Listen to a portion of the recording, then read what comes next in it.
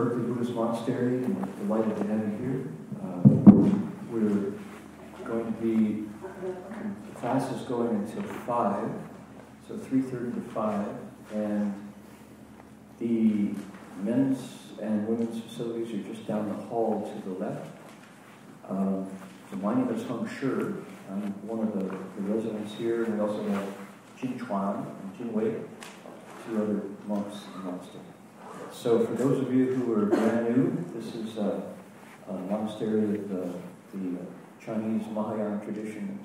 We've been here since 1995, and one of the features that we uh, are proud of in years back was a storytelling circle, we call it. And Brian Conroy was the, the uh, teacher and uh, facilitator of the storytelling circle, and it uh, uh, met for, gee, was, was it nine months or more longer.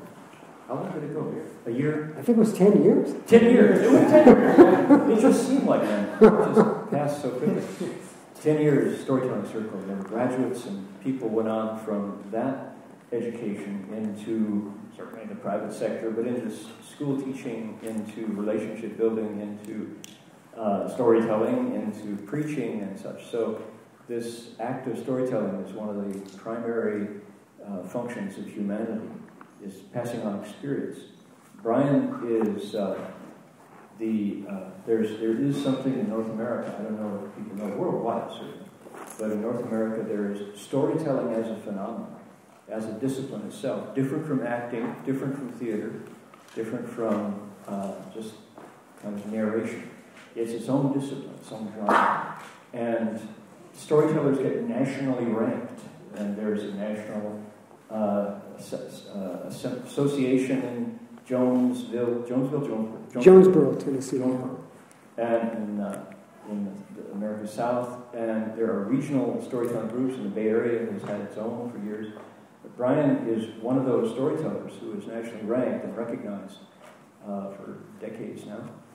And he himself was the convener of the Sierra Story Circle uh, in uh, Northern California. So he knows everyone and everyone knows Brian.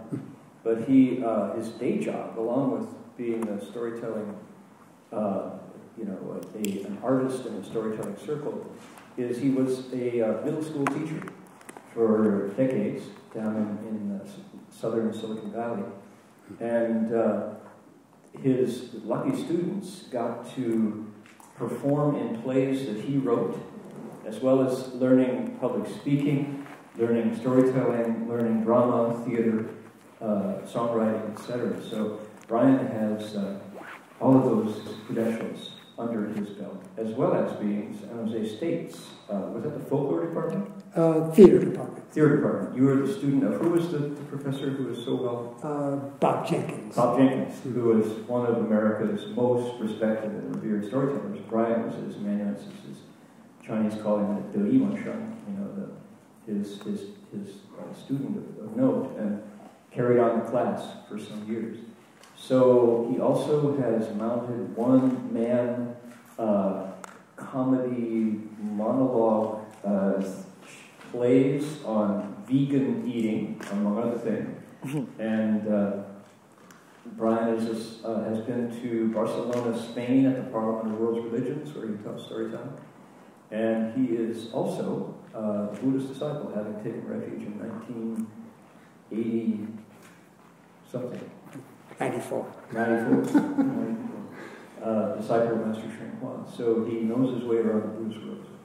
So, with that in mind, uh, Jin Chuan was, was uh, Jin Chuan Shi was one of the, uh, the one who said, hey, you know, we've got this uh, family camp here in Northern California, and uh, we wanted to make the theme of our fam- Buddhist family camp reconnecting to our roots.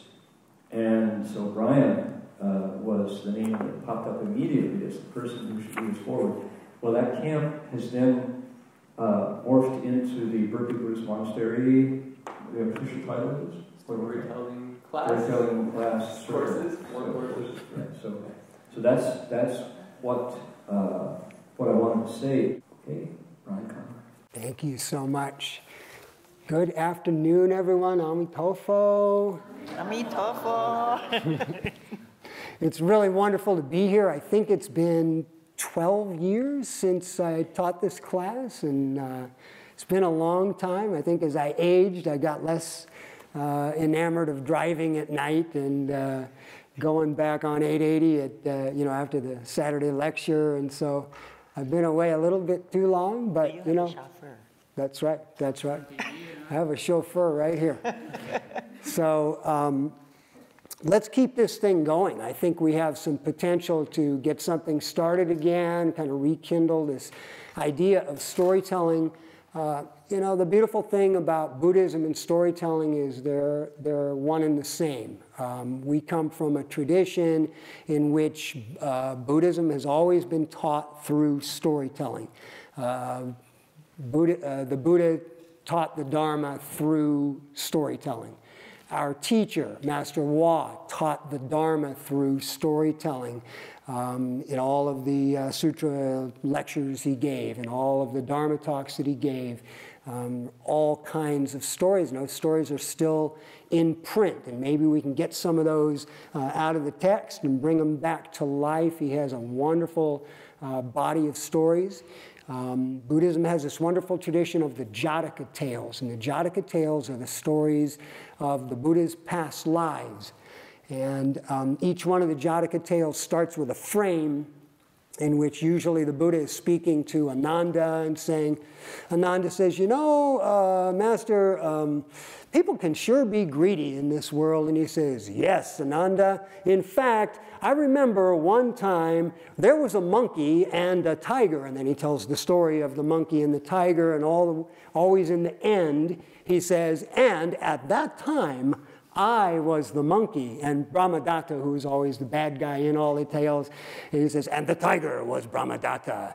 Therefore, we should learn, and there's a little text, a little uh, four line couplet, usually at the end of each of these Jataka tales, that says, In the future, we must remember that da da da is a greed is a poison, da da da da. If we da da da, then we, you know, like that. And so it formalizes the moral uh, at the end of the story. Um, and then, of course, there's all of the um, uh, stories that come from the folklore of China, of Thailand, of Korea, of Vietnam, of Cambodia, of Burma, of uh, Japan.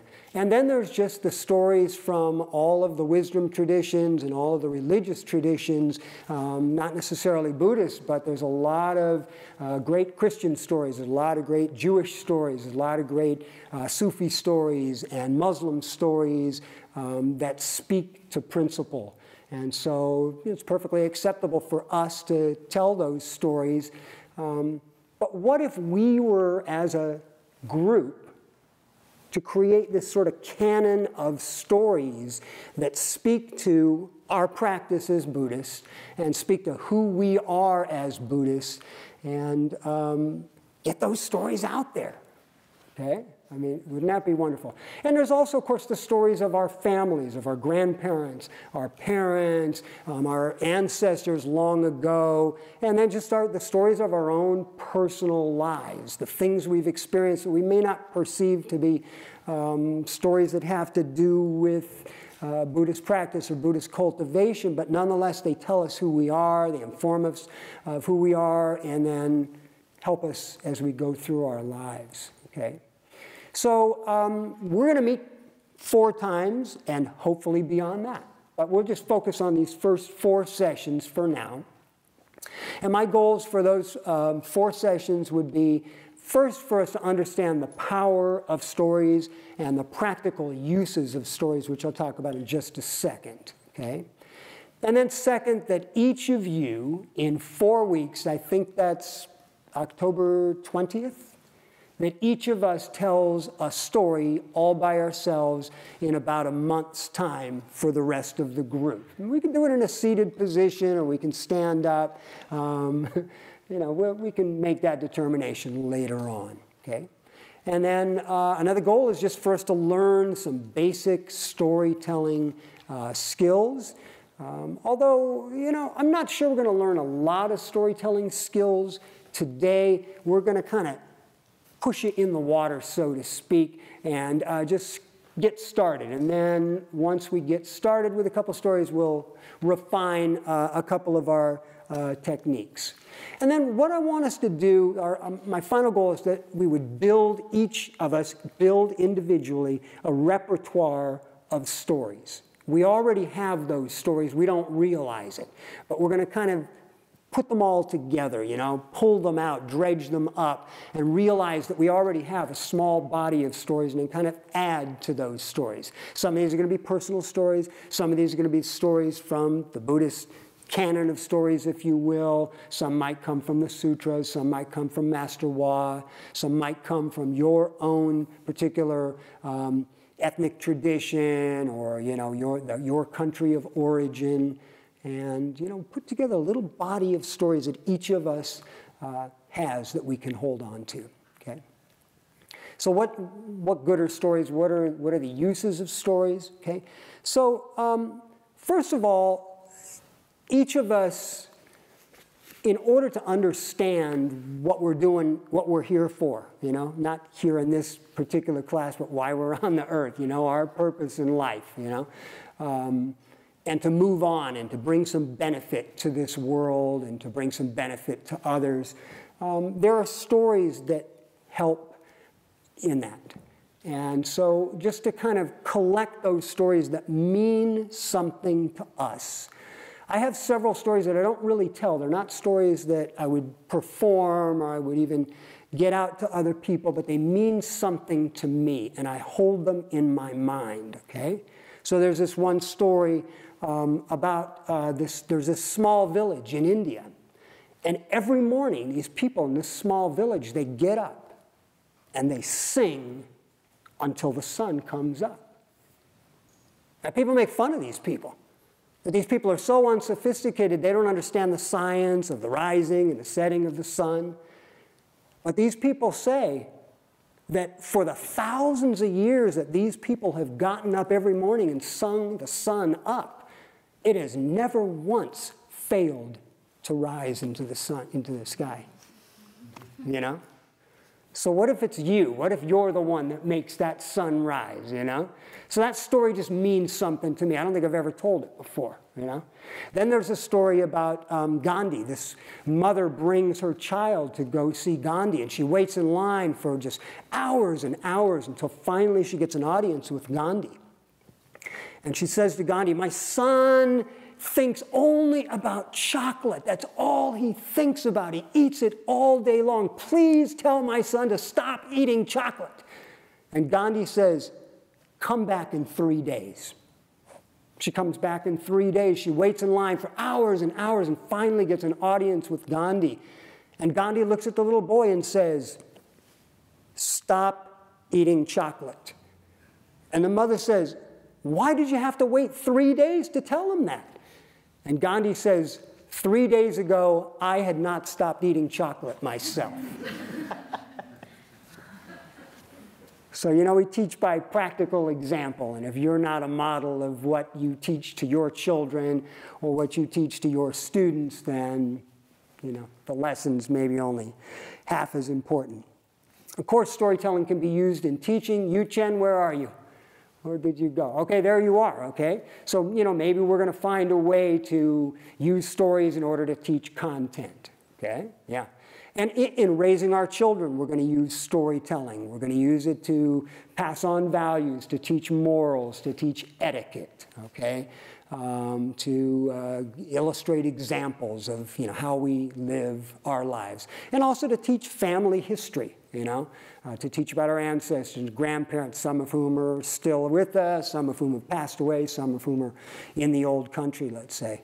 Um, and then, of course, in um, speaking the Dharma, you know, um, we saw uh, Jin Wei Shi um, talk at lunch today, those of us that were at lunch, um, about you know going to medical school and the prescription and uh, uh, being not only a doctor but a patient. And you, know, you can think of it as an allegory, but it was storytelling, and that really worked for many of us to have that example. It was a metaphor, it was a symbol, um, something to latch onto. Um, in the, in the many uh, Saturday evening lectures, the times that I've excuse me, connected the most uh, when Dharma Master Sure is um, telling about the Three Steps, One Bow pilgrimage or giving his own personal uh, stories of growing up in Toledo. And, you know, that's when I really connect with the Dharma. I was drawn specifically to this form of Buddhism because I thought it was practical, because it was all about the, the five precepts and it was, you know, real ways, you know, the six perfections and the ways of perfecting your conduct and making yourself a better human being, you know. And it's those stories that make that bring it down to our level. You know, it's not quite so esoteric. It's like, oh, here's what I can do to, to perfect my character, to become a better human being. Okay. Um, and then, you know, we tell stories to entertain. We tell stories to kind of lighten people up, to cheer people up. Um, you know, you could think of that in the same light as relieving someone's suffering. Um, you know, we think of entertainment somehow as trivial, and most of the time it is. If you turn on television, it's pretty trivial and pretty insignificant. But to tell a story that has maybe some, some humor in, in it, but also a little bit of wisdom, um, there's some power there. Um, my mom was a person that uh, used humor to its absolute best effect. She could walk into a room and lighten the mood just by a, a simple comment. She could see tension. She could kind of read it, you know? And she would say some little sort of flip remark that could just lighten everybody up. And everybody goes, oh, yeah, gee, we're being a little too serious about this thing. You're right, you know I mean? We better all just lighten up, you know I mean? Hey, we're all here. We're family. You know, let's all get along, you know? And she just sort of infused love into a room through using humor, you know? And so it's worked for me because that's, that's, that's sort of, uh, that's one of my roots at least, you know? Um, now, in order to do, uh, in order to learn storytelling, we have to learn by doing. So I'm going to ask all of us to participate, and we're going to start that in just about five or six minutes. Um, we're going to do things that probably haven't been done in the Buddha Hall uh, before, and I apologize. I mean, no uh, disrespect, but you know, I think this is the first time balloons have ever, ever been in the, the Buddha Hall. So we're going to have a little bit of fun. Um, today, what I want to do is uh, maybe spend 10 minutes just getting to know each other and kind of working together as a group.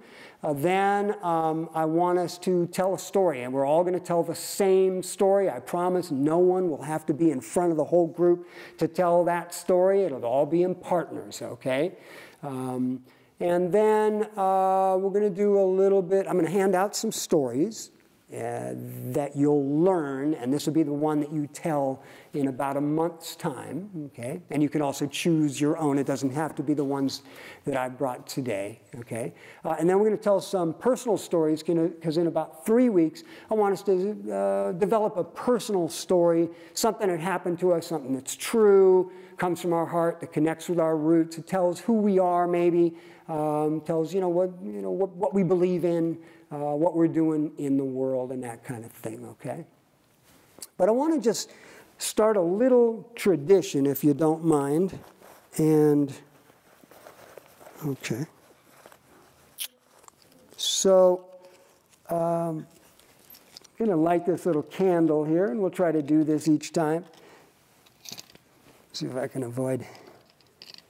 So, um, there's a reggae song that I like called By the Rivers of Babylon. And in it, it says, uh, May the words of our mouths and the uh, meditations of our hearts, and then I'll add on the last line. So I'm going to say this when I light the candle May the words of our hearts and the, may the words of our mouths and the meditations of our hearts honor the stories that we tell today. And we'll keep this lit throughout our little storytelling circle, okay? Is that all right?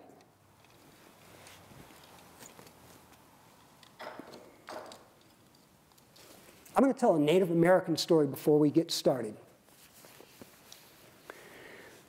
When the world was made, the gods went to all the living things and said, What do you want to be? And what do you want to be? And what do you want to be? Some said, We want to fly with grace in the blueness of the skies. The God said, We will make you into birds, all kinds of birds, big birds, little birds, all kinds of birds. Some said, We want to swim with grace in the coolness of the waters. The God said, We will make you into fish, all kinds of fish, big fish and little fish, all kinds of fish. The rivers and the lakes and the seas shall be your home, and you shall swim in them forever. And some said, We want to move with grace upon the land. We want to climb mountains and run through the valleys. We want to lie down and sleep in the forest at night. The God said, We will make you into animals, all kinds of animals, big animals, little animals, all kinds of animals. The mountains and the valleys and the forests shall be your homes, and you shall move through them forever. And some said, We want to live with the grace of gods in the world. We want to live in peace and harmony with all living things. The God said, We will make you into human beings, all kinds of human beings, some big, some small, all kinds of human beings. This world shall be your home, and you shall live in it forever. And thus it was that all the living things chose the forms that they would take and the kinds of lives that they would lead. Now, at that time, all living things spoke the same language.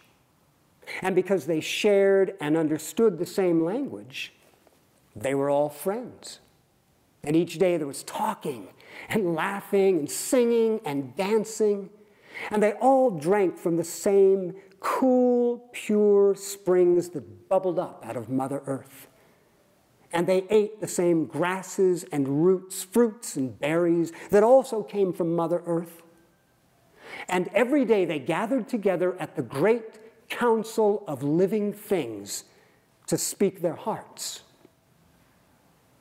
But one day, one day, Coyote did not go to the great council of living things. He stayed in the brush, thinking, I'm tired of company. I'm tired of grass and roots. I'm hungry for something else. And while he lay there thinking these thoughts, sleep fell upon him. And as he slept in the warm sunshine, the spirit Unaput came and put fresh red flesh under his nose, saying, It's good. It's very good. Taste it. It's good.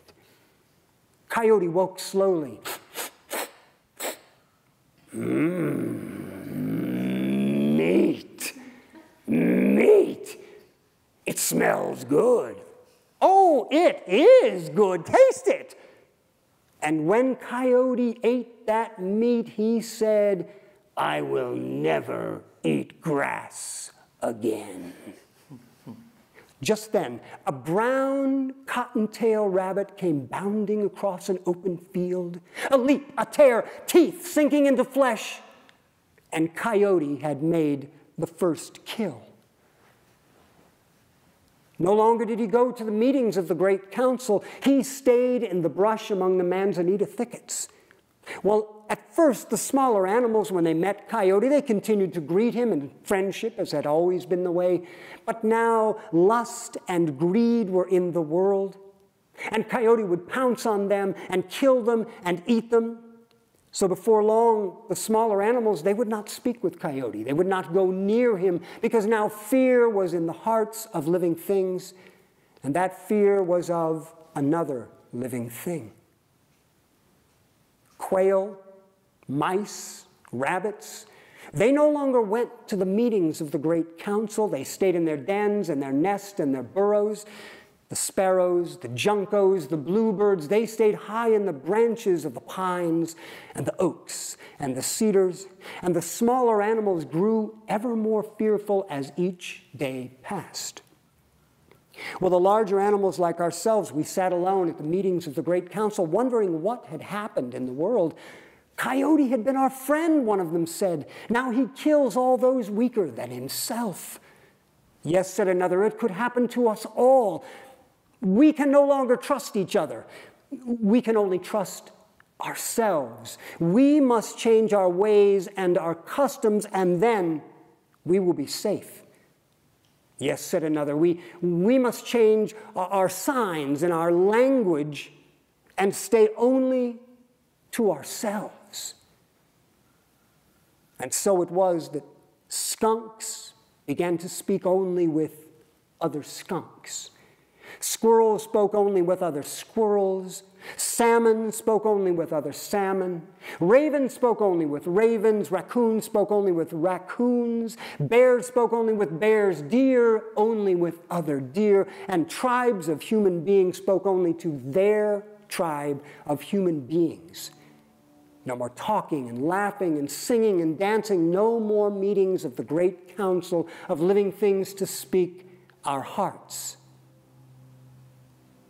Well, a few seasons passed, and that language we once shared with all living things was forgotten. And so it is today. We find it so difficult to speak with our sisters and brothers. But we still have our poems and our prayers and our songs and our stories. And it is with these that we can still speak with our hearts to one another.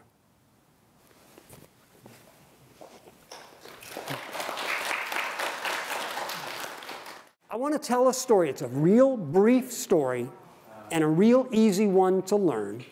And then I'm going to have you folks retell this very same story. And as we do this, we're going to talk about, you know, what, what's necessary in a story, uh, what are the essential elements of this particular story, how you can embellish a story, you know, what you can't embellish, and things like that, okay? So once a long time ago, in a small village, there was this tailor and he made the most beautiful overcoats anyone has ever seen, the most colorful overcoats that anyone has ever seen. Now, he was a poor man and he sold his overcoats for a very reasonable price, and so he never made himself an overcoat. But what he did is he saved bits of material, and scraps of fabric, and pieces of yarn and thread. And when he had enough material and enough thread and yarn, he stitched all those pieces together into a beautiful overcoat. Oh, he loved that overcoat. He was so proud of that overcoat. He wore it everywhere he went. He wore it and he wore it and he wore it until he wore it all out. Hmm. At least he thought he wore it out, but when he looked carefully, he found there was enough material left in the overcoat to make himself a jacket. So he took all the remaining material and he stitched it all together and he made himself a beautiful jacket. Oh, he loved that jacket. He was so proud of that jacket. He wore it everywhere he went. He wore it and he wore it and he wore it until he wore it all out. At least he thought he wore it out, but when he looked carefully, he saw there was enough material left in that jacket to make himself a shirt. So he stitched all the remaining material together. He made himself a beautiful, colorful shirt Oh, he loved that shirt. He was so proud of that shirt. He wore it everywhere he went. He wore it and he wore it and he wore it until he wore it all out. well, at least he thought he wore it out, but when he looked carefully, he saw there was enough material left in that shirt to make a uh, vest. A vest. oh man, he made the most beautiful vest. He loved that vest. He was so proud of that vest. He wore it everywhere he went. He wore it and he wore it and he wore it until, you know what happened? He wore it all out. You heard the story before? Yeah. Oh, okay, that's good. He wore it all out. At least he thought he wore it out, but when he looked carefully, he saw there was enough material left in that vest to make a, A handkerchief. yeah. Oh, he stitched all the material together. The most beautiful handkerchief. Oh, he loved that handkerchief. he was so proud of that handkerchief. He wore. He took it with him everywhere he went. he used it and he used it and he used it until he used it all up. At least he thought he used it up. But when he looked carefully, he saw there was enough material left in that handkerchief to make himself a button.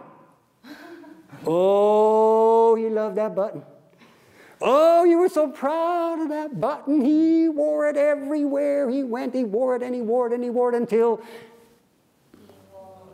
He wore it out. And, well, at least he thought he wore it out. But when he looked carefully, he saw there was enough material left in that button to make a story. Oh. And the story he made out of that button is the story I just told you. All right, now. So here's what we're going to do stories can be modified, and stories are modified. As part of the oral tradition, stories keep changing. As they're handed down from generation to generation, from grandmother to mother to daughter, they keep changing. And they fit a new context and a new generation. Okay? So we can tell this story any way we want. We can set it in any village we want. We can change the gender of the tailor. We can change what he makes. It's just that it goes from one thing to another, to another, to another. And we probably should end up with, and he creates the story out of it at the very end. So, what's essential in this story? What do we have to know in order to tell this story? First thing he's making? okay, his occupation. Okay, so we need to know probably he's a tailor, and you know, you could even modify it beyond that. I would probably recommend on our first, since we're all going to tell this, uh, probably stick fairly close to, to the storyline. Okay, so it's a tailor. He makes some stuff. Okay, and what does he make first? You want to stick with an overcoat? That's good. Okay, and then you know. So I think we said an overcoat a jacket, a shirt. No, we go to vest. Uh, okay, an overcoat, a jacket, a vest, a handkerchief, a button, a story. Okay. What do we need to know about? Do we need any, you know, so let's think about time, place, characters, okay? What, what time did this take place? I didn't say. Doesn't matter. Exactly. I didn't really say. But you can if you want. You know, long, long ago in, okay? Okay. Where did it take place? India. Okay, you can say India, absolutely. What did you say? We don't know. We don't really know. I mean, I think I, see, I may have said a village, you know, but if you want to personalize it, you know, absolutely, absolutely. You know, you can bring some little uh, contemporary humor to it, sure, by all means. Okay, you want to say it's a village in China, fantastic. You know, you want to say it's a small village called Berkeley, that's great you know, or wherever you want to set it. Does that compromise the integrity of the story? No. Yeah, I would say not. You know, it just sort of enlivens it. You know, makes it more relevant maybe for the audience. And you go, well, these people probably enjoy, you know, saying Berkeley because they know Berkeley and they've been to Berkeley, they live in Berkeley. Okay, so that's good. Okay. So, what else? Now, I could give you the written text of it, which I have, but I don't want to give you the written text of it because I don't want you to learn it word for word and memorize it. Stories aren't good when you learn them word for word. Yeah, there are some stories you want to, rec- you want to uh, learn verbatim. You know, when I told that story about the language that was lost, and you know, the very first story, I would say that most of that is fairly set, and I am kind of saying it verbatim because there's a lot of poetry from the original Native American language that I want to retain, okay? But on this, you know, it's going to be our own poetry. We're going to put our own sort of touches onto this. So let's go through it in our minds, okay? There's this tailor. A seamstress. A seamstress, okay, that's great. Absolutely. Lives in a village, who knows where, can be anywhere you want to set it. Okay? Makes, makes overcoats, they're beautiful, they're colorful, they're made out of a lot of different scraps, you know, pieces of fabric, material, leftover pieces of yarn, thread, etc. You know, sort of quilts it together, yeah? Okay? but he's a, you know, he's a poor man. He doesn't have a lot of extra material. He's always worrying about making these overcoats for other people, sells them for a reasonable price, you know, doesn't make a lot of money off of them. But eventually, he saves enough material and he makes his own overcoat, okay? Or whatever you want to make a dress, okay? You know, a formal gown, okay? And then we go to, to smaller garment after that. Okay? Then it goes from one large garment to a smaller, to smaller, to smaller. You know, at the end, I mean, I say button, but I mean, it could be a sock, it could be a scarf, uh, you know, a hat. So anything you want until just at the end, and maybe we should memorize this uh, sentence or phrase, um, and the and he made a story, and at least he thought he made uh, wore it out. But when he looked carefully, he saw there was enough material left in that button to make a story. And the story he made out of the button is the story that I just told you. And then there were a lot of repetitive things that we did. So I said, um, he loved that coat. He made, the, he made the coat. He loved that coat. Oh, he's so proud of that coat. He wore it and he wore it and he wore it until he wore it all up. At least he thought he wore it up, wore it out. But when he looked carefully, he saw there was enough material. So let's just sort of say that all together. You ready? Oh, he loved that coat. He was so proud of that coat. He wore it and he wore it and he wore it until he wore it all out. At least he thought he wore it out. But when he looked carefully, he saw there was enough material left in that coat to make. Do that one more time or do it one more time? Okay. Oh, he loved that coat. He was so proud of that coat. He wore it and he wore it and he wore it until he wore it all out. At least he thought he wore it out. But when he looked carefully, he saw there was enough material left in that coat to make a vest. No, a shirt. So t- a shirt. a blanket. That's it. Okay? So here's what I'm going to ask you to do. And I want to do a couple of rounds of this if we can. So uh, we're going to tell this story to our partner. And as soon as you're done, why don't you just have your partner tell the very same story, her version of the very same story? It does not have to match yours at all. She's going to tell her version of the story then to you. And when both of you are done, just so I can get a sense of you know, when we're done, why don't, when both of you are done telling your story, why don't you raise your hand so I can go, okay, good, we still have four or five more here, and, and then I know when we go on to the next activity. Yeah, small rug. Okay, everybody's good? Everyone has a partner? Okay, we're all going to make a little bit of noise. So, oh, I'm sorry, I'm sorry. I, I should say this. Okay, so here's what we want to do. Um, see if you can get fairly close to your partner. Like these two women right here are almost perfect. You know, they're maybe about a foot apart. I want you to sit up a little bit straight. We want to be as attentive to our partners as possible. I want you to look at your partner. Don't get distracted. Look out the window. Try to make good eye contact with your partner. Partners, you can give some sort of pleasant facial expressions. I know you're thinking about, oh, how am I going to tell my story? And, you know, a little distracted till yours comes up. But Try to, you know, stay focused on them the entire time. Give a pleasant facial expression. That feeds them some positive energy, yeah? Okay? And we're not going to really try to theatricalize anything quite yet. We're just going to tell the story, okay? Just sort of get into it. Everybody's good? And this is perfect right here. These are my model students right here. job, bye. Okay, ready? And go. Good job. Everyone looked engaged. It looked like we had some very creative versions uh, of the stories. And um, before we go on to the next activity, we ran out of time quickly, didn't we? That's good. Time went quickly, but that's okay. We're going to keep doing this.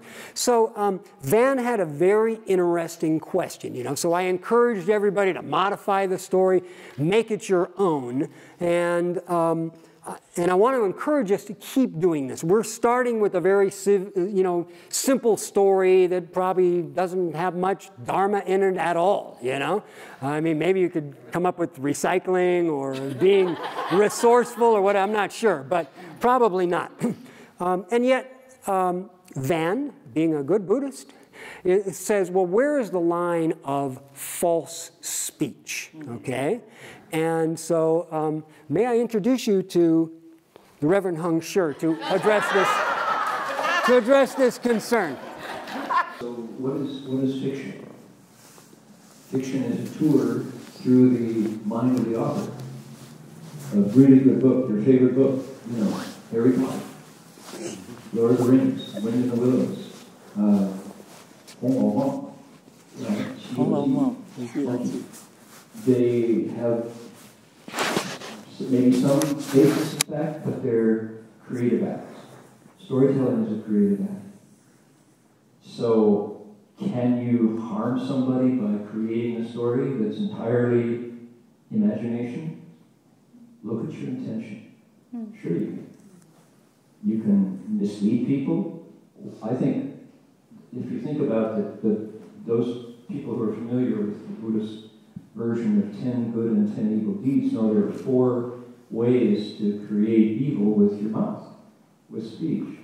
And one of them is outright lies, one is schism making or gossip, one is harsh speech, and the fourth one is really the one that this, this remaining with us, which is frivolous speech. Frivolous speech divides into two. One is prattle, just blah, blah, blah, blah, blah, blah, blah, in Chinese. But the other one is words that lead the mind into harmful paths. So dirty jokes, for example. Mm. Okay, what's the intention? Is the question to ask that cuts through all of that. And the sutras then go on to say, oh my goodness, here's the good that you do with your voice, with your words. And it goes on to talk about how a bodhisattva speaks to ennoble, to guide, to comfort, to bless, to instruct, to, to uh, encourage, you know, to delight, joy. All is good with the word. So it's if, if I had to think as I was telling a story, oh my goodness, I better be careful because that's not true, Mm-hmm. the story goes flat and it's no fun. And you've lost your opportunity to, to give. So what I do is I think, what's my intention? If my story is entirely factual and instructions and I'm passing on something that I was told, then you better be true. Right? But if I'm coming up with a story about a tailor who loved his coat, his overcoat, that's totally in the realm of imagination. So uh, that's not a place to exercise those standards and say, you know, oh my goodness, well, I never met the tailor. I, this is a, this is a lie. You're in the wrong class, right? so the um, this is a pretty place to use this method called the six guidelines. And if my story that I'm telling is meant to be contentious, to show myself better than someone and to put you down, that will lead to affliction. And you can do it. There's nothing, no gold lightnings can come out of the ceiling. But it will lead to affliction. It won't lead to, to mutual benefit, to, to joy, to connection. Two, if my story is full of greed, you know, and I want you to think better of me. I'm greedy for your wholesome opinion of me. You know, I want you to like me. That's my name personally, Hung Shri Borja. So then it's going to lead to affliction. If you're seeking something in as part of your story's purpose, your motive, then you've left the, act of storytelling behind. You're engaging in desire, you know, desire for a, a reputation as a great storyteller. So you tarnish your story. You know, it's no longer true. So then there's selfishness, self-benefit, and then dishonesty. So I ask myself those questions, and if the answer is no, it's not. I'm engaging in storytelling, I'm learning, I'm having fun with friends. Tell your story and enjoy it. Great, thank you. Yeah, so this question might lead to tangent, but what about the concept of white lies? Because the intention is good it is a lie. That's, I think, uh, you're right, good question. That's not pertinent for our storytelling. We can talk about that, you know, in the world. Your kids, for example. The Buddha told a white lie when a kid was crawling towards, the, you know, the superhighway. He's, the Buddha's crawling towards 980, And the Buddha says, yeah, I got uh, an iPad here, you know. and he goes, iPad? Turns around, and comes back, and the Buddha doesn't have an iPad. He's only got a, you know, like a, a tablet with a pencil. and the kid goes, you know, hey man, you lied. me." So, yeah, but he, the Buddha said, I may not have given you the iPad, but I gave you your life. Mm. So I'll take the hit in telling a lie and I'll give you your life. So that's a white lie. Whether that's true story, I made it up. So I want to do a little more storytelling, but I want you to get a different partner. I want each of you to tell this same story, okay? As soon as you're done, your partner just tells the very same type of story, okay? But this is going to be, they're, they're going to be vastly different. I want you to tell a little bit about your grandmother or your grandfather, okay? Or your great grandmother or your great grandfather. If you don't have any, any living, like you never met any of your grandparents, I'm one of those people that only met one of my four grandparents in my entire life. How do you like that?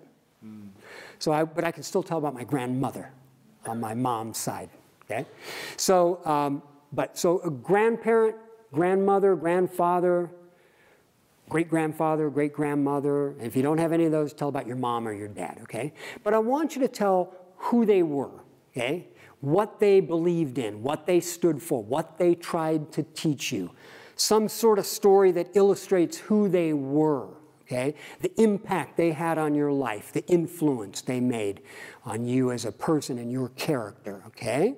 Now, I want you to keep this fairly short, okay? So I think what I'll do is just to keep things moving a little bit, at around two minutes, I'm gonna say, other person, start your story pretty soon, okay? So I'll go about two minutes each person. Is that okay? Ready? And first person, go.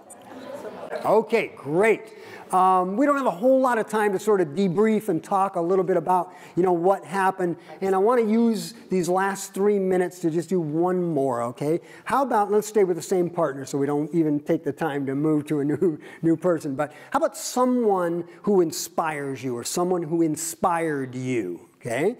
Could be a teacher you had, a coach, a parent, a friend, somebody that just sort of brought out the best in you, maybe had a lot of faith in you, um, uh, you know, really stood behind you and uh, showed you they cared about you, you know, really brought the love to you and, uh, in your life somewhere, okay? A person that inspires you now or inspired you in the past, okay? And um, we're going to have to keep this a little short, so we'll go about maybe a minute and a half on each person, okay? First person, go ahead and start. I think we are at the start of something really special. I think we uh, had a great session today, and I'm looking forward to these next uh, three weeks. If you can come next week with a story and maybe come with the text of the story. Um, and we'll start working on it. Okay, so we're going to maybe look at the text and see, you know, some certain things we might isolate and talk about uh, emphasis and uh, inciting action and things like that. Okay, thank you very much.